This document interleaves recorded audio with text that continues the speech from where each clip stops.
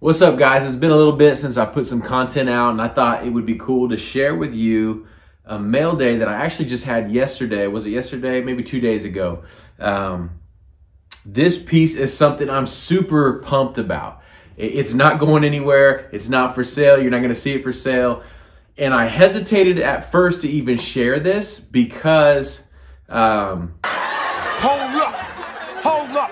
Hold up!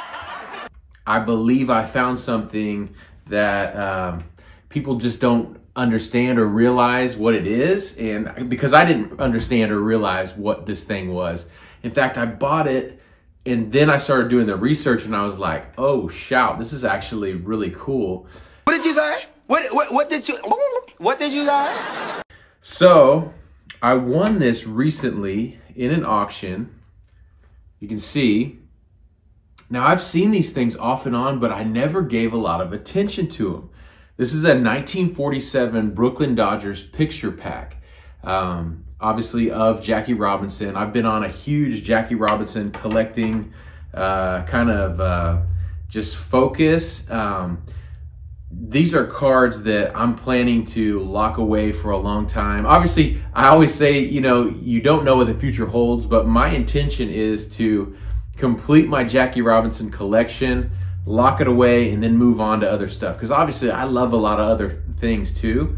Um, but Jackie is so near to my heart. He is uh, he's what brought me back into the hobby back in 2011. Uh, but I want to talk briefly about these picture packs. Um, if you're familiar with the older Bond Bread cards, you would know that this is an image that they used. So in researching, I find out that these actually predated the Bond bread cards, and the Bond bread cards actually used the um, the picture packs. Now this is what amazes me. Okay, so uh, you know in the last year or so, you've seen the rise of graded tickets. And I'm not a ticket guy. I understand the appeal of it. I've got good buddies that love tickets. I understand it. Um, it's just not something that I'm super passionate about. But what I love, I do love about tickets is that they were at the stadium. They were at the games uh, when a player debuted or a player had a huge groundbreaking moment, whatever the case may be. That's why I fell in love with these 1947 picture packs. So 47 was the year that Jackie broke the color barrier. What's amazing to me is the only place that you could find these Dodgers picture packs were at Ebbets Field. So this literally was in the stadium when Jackie and the Brooklyn Dodgers were playing games the year he broke the color barrier. So um, the image is just so sick. As you've seen in the hobby, um, graded photos have really kind of taken off in the past couple years. This is to me kind of the best of both worlds. This was released at these what they call souvenir stands in uh, Ebbets Field. So a kid, uh, really anybody, but they could go up and um, they bought the entire packs. Now, uh, my understanding is that they weren't sold individually; they were sold in a team set. So you went and you bought uh, the whole pack of the the Brooklyn Dodgers, but you could only get them if you went to a game. And to me, when we talk about game used, we talk about tickets being at games. There's something amazing to me um, thinking about Jackie Robinson, the year he broke the color barrier, everything that he's going through, and this piece of history was there with him.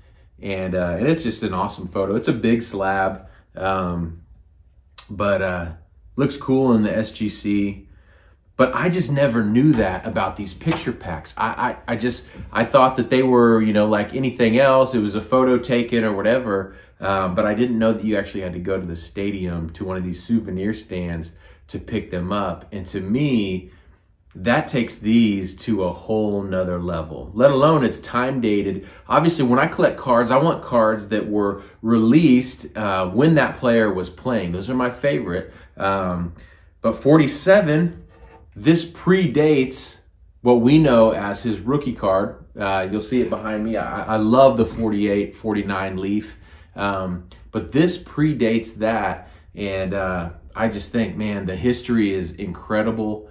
And um, the fact that this piece of memorabilia went someplace that I could never go, but I'd love to go there in my mind. And man, if I could have a time machine and go and see Jackie, um, would be absolutely incredible. But I wanted to share that with you guys. These picture packs are so cool. Um, I hope I don't have much of an impact on the market. I don't think I do, but um, you know, you always hesitate when you find something you're like, man, maybe I want more of those.